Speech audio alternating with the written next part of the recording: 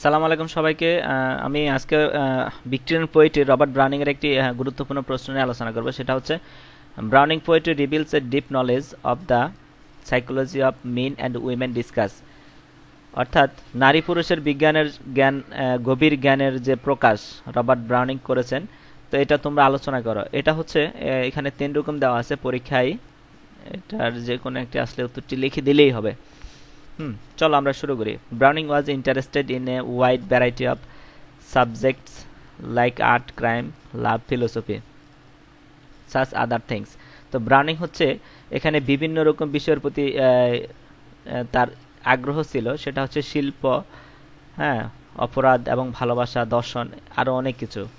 তো এই জিনিসগুলোর প্রতি তার অনেক আগ্রহ ছিল। But he was mainly with psychoanalysis or soul dissection of his character অর্থাৎ তিনি এখানে প্রধানত তিনি তার চরিত্রের মধ্যে তিনি অনেক ব্যস্ত ছিলেন সাইকো অ্যানালাইসিস এবং সোল ডিসেকশন নিয়ে। সাইকো অ্যানালাইসিস সোল ডিসেকশন এর অর্থ হচ্ছে আত্মবিভাজন এবং হচ্ছে মানসিক অ্যানালাইসিস গবেষণা আর কি, বিশ্লেষণ। তো এগুলা নিয়ে তার চরিত্রের মধ্যে অনেক ব্যস্ত ছিলেন। At the beginning of his poetic career he declared তার কাব্যিক ক্যারিয়ার শুরুতে তিনি ঘোষণা করেন my stays lay on the incident in the development of the soul. Little else is wrath study. তো এটা সেই নিজে বলেন যে আমি আমার মানসিক চাপ, আমার যে মানসিক চাপ আছে চাপের ঘটনাগুলোর উপর যে আত্মার বিকাশ হয়েছিল হ্যাঁ little else is worth study এবং তার যে ক্রোধ অধ্যয়ন হ্যাঁ শিক্ষার প্রতি তিনি অনেক আগ্রহ ছিল এবং তিনি এই আগ্রহটা কাজে লাগিয়েছেন এবং তিনি অনেক পড়াশোনা করেছেন হুম ক্রোধে। This object guides him to writing almost all of his poetry এবং তার এই উদ্দেশ্য এবং এইটা তাকে পথ দেখায়। এবং তার যে জ্ঞান অর্জনের যে স্পৃহা হ্যাঁ যে আগ্রহ, এটা তাকে হচ্ছে লিখতে সাহায্য করে almost all of his poetry তার সকল কবিতা লিখতে। তো in the poem Andrea del সাত্র the speaker Andrea is a painter তো এই কবিতার মধ্যে, অর্থাৎ অ্যান্ড্রিয়াডেল সাত্র এই কবিতার মধ্যে অ্যান্ড্রিয়া হচ্ছে নিজে একজন স্পিকার এবং নিজে হচ্ছে একজন বিখ্যাত চিত্রশিল্পী, ইতালির। হুম। অ্যান্ড্রিয়াডেল ছাত্র ইতালির বিখ্যাত একজন চিত্রশিল্পী। তো এটা পড়ার আগে একটু কথা বলে নি, সেটা হচ্ছে তার একটা তার একটা সুন্দরী বউ ছিল, তার যার নাম ছিল কি? লুক্রিজিয়া তো লুক্রিজিয়া অনেক সুন্দরী ছিল, কিন্তু সে ছিল লোভী। সে স্বার্থ যে টাকা পয়সা আছে, এগুলো আত্মসাত করতো আর তো সে প্রেম করতো। হুম, এটা কিন্তু আবার অ্যান্ড্রিয়া জানতো। হুম, আবার অ্যান্ড্রিয়া কিন্তু তার স্ত্রীকে অনেক ভালোবাসতেন। হুম। তো চলো, আমরা এটা সম্পর্কে বিস্তারিত বলতে গেলে অনেক সময়ের প্রয়োজন। তো সেটা বলতে গেলে ভিডিওটা অনেক বড় হয়ে যাবে। তো এই জন্য আমি এটুকুই বলছি, আর বলব না। হুম, প্রয়োজনে যেগুলো বলা লাগে বলব আর কি। হ্যাঁ চলো আমরা শুরু করি। হি ওয়াজ এ ভেরি ট্যালেন্টেড সে ছিল অনেক প্রতিভাবান। And earned the reputation of beginning the faultless painter এবং তিনি তার যে খ্যাতি হ্যাঁ এই, তিনি এই প্রতিভাটি কাজে লাগে তিনি অর্জন করেছেন অনেক খ্যাতি। এই খ্যাতিটা হচ্ছে কি ফল্টলেস পেন্টার তিনি একজন হচ্ছে দোষীন চিত্রশিল্পী।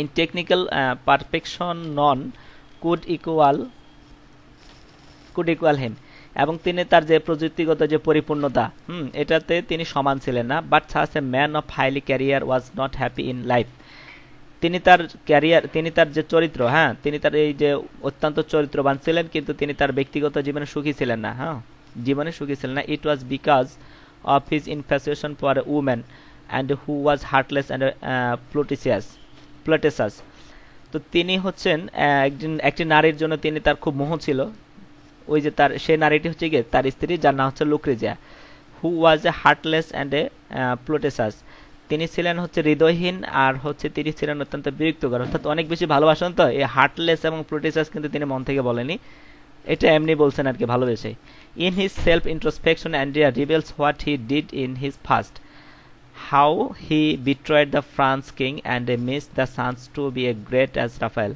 তো আমরা ভেঙে ভেঙে পড়ি, এটা অনেক বড় সেন্টেন্স তো তার যে অন্তর্দর্শন, তার যে অন্তর্দর্শন অ্যান্ডিয়ার প্রতি প্রকাশ করেছেন, এটা হচ্ছে তিনি অতীতে করেছেন, হুম?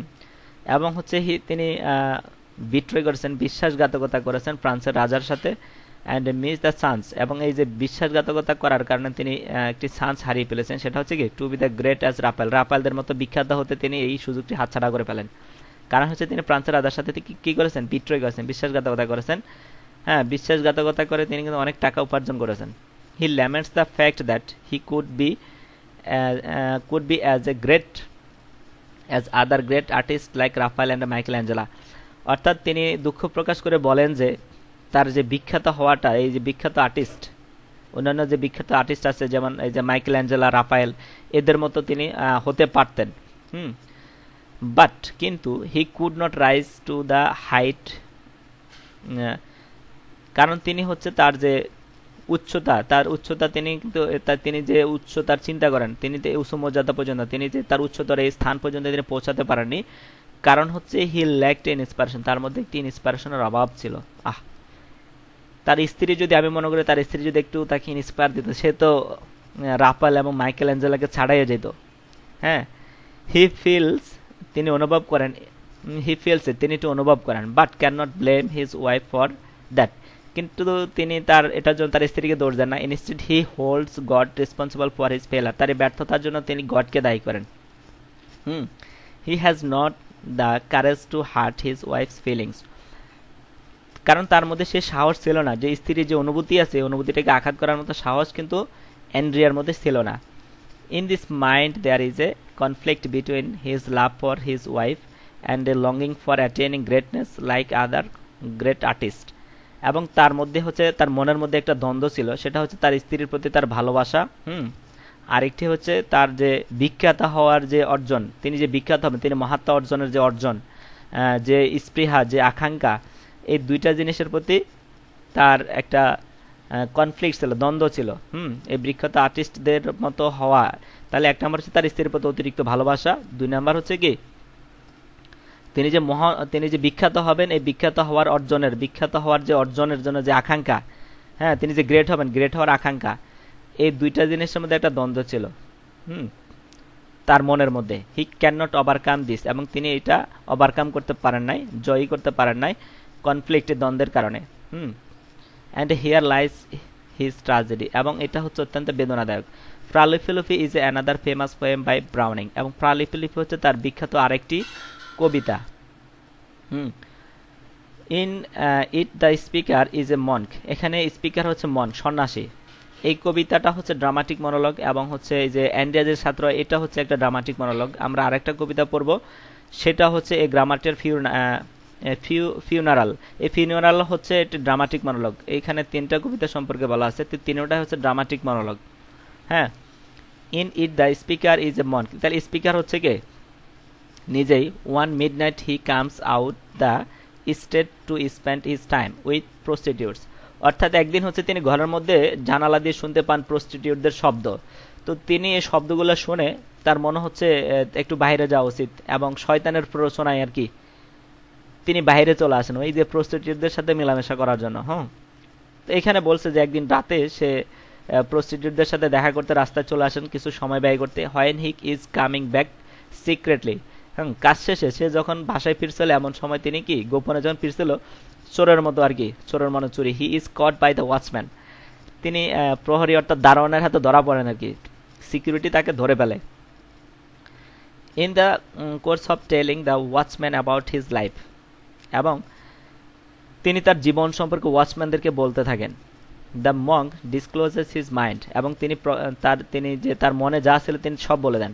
হুম he does not conceal the fact that এবং তার মনে যে লুকায়িত কিছু ছিল, হুম, এটাও বলে দেন that he is a heart and a sensualist এবং সে ছিল যৌন আকাঙ্ক্ষী, তার হৃদয় ছিল যৌন ইচ্ছা, এটাও তিনি বলে দেন। অর্থাৎ তিনি গোপন আর কিছু রাখলেন না, সবই ওই ওয়াচম্যানদেরকে বলে দেন। Pleasures of the body is more important to him এবং তার যে, তিনি মনে করেন যে শারীরিক যে আনন্দটা, হুম, শরীরের আনন্দটা হচ্ছে তার কাছে সবচেয়ে বেশি গুরুত্বপূর্ণ। He recounts how he spend his childhood এবং তিনি বাল্যকালের সময়টা কীভাবে অতিবাহিত করেছেন এটাও তাদের কাছে বর্ণনা করেন। অ্যাজ অ্যান অরপান এবং অনাথ জীবন, তিনি যখন এতিম ছিলেন হ্যাঁ অর্থাৎ তিনি দুই বছর বয়সে তার মা বাবাকে হারান এবং পরে চাচির কাছে বড় হন। চাচি আট বছর বয়সে তাকে একটি মঠে ফাটিয়ে দেন। তো এই যে তিনি অনেক দুঃখ কষ্ট দিয়ে বড় হন, এটা তিনি ওই ওয়াচম্যানদেরকে বলেন। How he came to the monastery এবং তারপর তিনি হচ্ছেন, তিনি সন্ন্যাসী জীবনে চলে আসেন। And why he choose the life of a monk. কেন তিনি সন্ন্যাসী জীবনে ফিরে আসেন? কেন পছন্দ করছেন? এটা সব কিছুই ওই ওয়াচম্যানদেরকে বলেন। তো we can follow the we can follow the interplay of passion thoughts and ideas of his mind তা আমাদের তার যে, এই যে যে আবেগ, তার যে চিন্তা, তার যে ধারণা, এগুলো হচ্ছে তার, হুম, আমাদেরকে হচ্ছে অনুসরণ করা উচিত। এখানে ইন্টারফ্লেক্স শব্দের অর্থ হচ্ছে সন্নিবেশন করা। হুম। কই? এই যে ইন্টারফ্লে ইন্টারফ্লে শব্দের অর্থ হচ্ছে পারস্পরিক সরি পারস্পরিক। তিনি আমাদের হচ্ছে যে পারস্পরিক যে চিন্তাধারা, আমাদের আবেগ, ইচ্ছা, ধারণা, এগুলো হচ্ছে কি করা? অনুসরণ করা উচিত পরস্পর পরস্পরের মধ্যে। The poet insert a flower song. এবং তিনি হচ্ছে তার মনের মধ্যে একটি সন্নিবেশন করেন ফুলের গান। হুম this song reflects how strongly the flower strongly the flower of love works in his mind এবং এই গানটি হচ্ছে প্রতিফলিত করে ভালোবাসার দৃঢ়, কত ভালোবাসা হ্যাঁ? এই ভালোবাসার, তার মনের মধ্যে কীভাবে দৃঢ়, এত দৃঢ়ভাবে, হুম, কতটা দৃঢ়ভাবে প্রতিফলিত করে এই একটি গান এটা তিনি বর্ণনা করেন। We may not like the man আমরা কিন্তু মানুষটাকে পছন্দ করি না but we can not reject this views on art এবং তিনি একজন শিল্পী মানুষ, এবং তার যে মতামত এটাকে আমরা কি করতে পারি না, প্রত্যাখ্যান করতে পারি না। এগুলা বলতেছে কি, ওই ওয়াচম্যানরা hmm it's relation to life এটা হচ্ছে তার জীবনের সাথে সম্পৃক্ত। He says that soul manifest itself through the body এবং তিনি বলেন যে তার যে আত্মা, হুম, এটা প্রকাশ করা হচ্ছে তার শরীরের মধ্য দিয়ে। God has created all the joys and beauty of the world God হচ্ছে সৃষ্টি করেছেন সকল আনন্দ এবং সৌন্দর্য দিয়ে পৃথিবীর সকল আনন্দ এবং সৌন্দর্য দিয়ে গড সৃষ্টি করেছেন। So the proper function of artist এবং শিল্পীর যে প্রপার ফাংশনটা আছে হ্যাঁ is to portray life as it is এটা হচ্ছে কি করেন? চিত্রায়িত করেন, বর্ণনা করেন। কিসের সাথে? With both of his beauty ugliness good and evil এবং এই এগুলোর সাথে, সৌন্দর্যের সাথে আগলিনেস সৌন্দর্যের সাথে কুৎসিত এবং ভালোর সাথে খারাপ, এগুলোর সাথে হচ্ছে এই, এগুলো চিত্রিত করেন। অর্থাৎ, প্রালিপিলিপি হচ্ছে এমন একজন শিল্পী, এমন একজন সন্ন্যাসী তার কাছে যদি একটা কয়লা দেওয়া হয় এবং সেই কয়লা দিয়ে জীবন্ত মানুষের চিত্র একবারে হুবহু এঁকে দিতে পারবে শুধু তার মধ্যে প্রাণ থাকবে না। তাহলে তিনি কত ট্যালেন্ট ছিলেন হ্যাঁ? তো এইভাবে তিনি তার চিত্রগুলো আঁকতেন। ইন দ্য পোয়েম আরেকটি কবিতা a grammarian's funeral the disciples of the scholar of the scholar describes the life of their master অর্থাৎ এই গ্রামারিয়ান্স ফিউনারেল তিনি হচ্ছেন একজন তার যে শিষ্যরা রয়েছেন, তিনি হচ্ছেন একজন পণ্ডিত। এই পণ্ডিতের কিছু শিষ্য রয়েছেন, এরা হচ্ছে তার জীবনের, তার এই শিষ্যরা হচ্ছে তার প্রভুর হচ্ছে তার সম্পর্কে, তার জীবন সম্পর্কে বর্ণনা করেন। While carrying his dead body to bury যখন তার এই যে মৃতদেহটা তারা ক্যারি করেন, বহন করেন on the top of the mountain মাউন্টেনের চূড়াই one of them relates how their master ignore the pleasures of life for requiring knowledge and the truth এবং সত্য এবং জ্ঞান অর্জনের, তার জীবনের জন্য হ্যাঁ? জ্ঞান অর্জনের জন্য তিনি যে আনন্দ উপেক্ষা করেছেন, তার প্রভুর এগুলা তারা বর্ণনা করেন, শিষ্যরা বর্ণনা করেন। Even in old age he did not take rest এবং বৃদ্ধ বয়সে তিনি বিশ্রাম নেন নাই। অর্থাৎ এখানে যে পণ্ডিতের কথা বলা হয়েছে, এ পণ্ডিত হচ্ছে তার বাস্তবিক জগতে তিনি যে তার যে সাংসারিক জীবনের যে কামনা, বাসনা, দুনিয়ার জীবনের প্রতি যে লোভ, লালসা, তার কিছুই ছিল না। তিনি শুধু জ্ঞান অর্জনের প্রতি তার আগ্রহ ছিল এবং তার উদ্দেশ্য ছিল তিনি মৃত্যুর পরে গডের থেকে তিনি পুরস্কার নেবেন। তো এজন্য তিনি দুনিয়াতে খারাপ কাজ করতেন না। তিনি অনেক ভালো মানুষ ছিলেন এবং তিনি একজন পণ্ডিত ছিলেন এবং তার শিষ্যরা, তার এই যে পণ্ডিত্য, তার জীবনের যে সফলতা, এগুলা তার শিষ্যরা বর্ণনা করেন এই কবিতার মধ্যে, এই ড্রামা, এই ড্রামাটিক মনোলগ কবিতাটার মধ্যে। তো so thus we find that Browning has skillfully uh, delineated the psychology of different types of people. তো ব্রাউনিং হচ্ছে এখানে বিভিন্ন মানুষের যে মনোবিজ্ঞানীদের যে দক্ষতা এটা হচ্ছে চমৎকারভাবে এখানে চিত্রায়িত করেন। হি ডাজ নট প্রেজেন্ট এবং তিনি উপস্থাপন করেন না এনি সিস্টেমেটিক ডিসক্রিপশন কোনো পদ্ধতিগত বর্ণনা। তিনি এখানে উপস্থাপন করেন না। The speaker mind moves back and backward and forward তাহলে স্পিকারের মনটা হচ্ছে সামনে এবং পিছনের দিকে যায়। হ্যাঁ হিজ মাইন্ড ট্রাভেলস এবং তার মনটা ভ্রমণ করে now to the first then to future এবং অতীতে এবং ভবিষ্যতে দিকে কি করে ভ্রমণ করে। At at one moment he experiences a thought experience experiences হচ্ছে কি, সেই মুহূর্তে তার যে চিন্তা এটা তিনি ব্যাখ্যা করেন। At the next moment he has a feeling to express এবং পরবর্তী মুহূর্তে তার যে একটা অনুভূতি এটাও তিনি এক্সপ্রেস করেন, অর্থাৎ প্রকাশ করেন। তো এই ছিল এই প্রশ্নটার উত্তর। আমি যেটা বুঝেছি সেটা আপনাদের সাথে শেয়ার করেছি। হুম, তো এই এইটা হচ্ছে আমার অনেক বন্ধু বান্ধবরা দেখবেন তো আশা করি হচ্ছে বুঝতে পেরেছ তোমরা। সবার শেষে তোমাদের সবাইকে বলি, আমার চ্যানেল থেকে যদি কোনো ভিডিও দেখে যদি তোমরা একটু উপকৃত হও, যদি কিছু শিখো, আমার এই চ্যানেলটাকে একটু প্রমোট করে দিও। সেটা হচ্ছে লাইক করবা কমেন্ট করবা, আর যদি আমার আরও কিছু ইম্প্রুভ করা লাগে, আমাকে বলবা, জানাই দেবা কমেন্ট কমেন্টের মাধ্যমে আমি চেষ্টা করব আরও একটু ইম্প্রুভ করার জন্য। হুম, ধন্যবাদ সবাইকে। আশা করি ভিডিওটা শেষ পর্যন্ত দেখে অনেক উপকৃত হয়েছে।